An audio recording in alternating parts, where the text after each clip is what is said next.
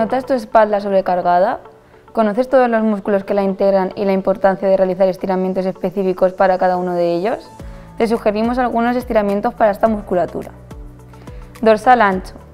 De pie, cruzamos una pierna por detrás de otra y junto a un ascenso del hombro del mismo lado que la pierna cruzada, llevamos la mano del mismo hacia arriba, cruzándola por encima de la cabeza.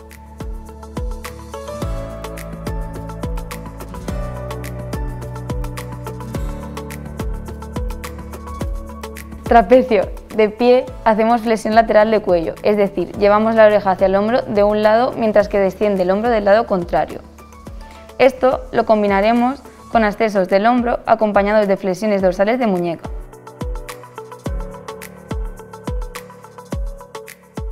Como variante, podemos modificar la posición de la cabeza, llevándola ligeramente hacia adelante y hacia detrás, manteniendo la flexión lateral.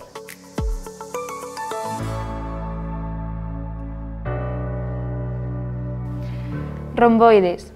Nos colocamos frente a una silla. Apoyamos los brazos cruzando las manos. La que queda externa solo sirve de apoyo. A partir de esta posición descendemos la cabeza, hundimos el pecho y desplazamos el peso del cuerpo ligeramente hacia atrás.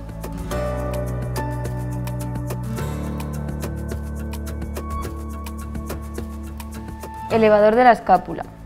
Colocamos una mano detrás de la cabeza y llevamos la nariz a la axila de ese mismo lado.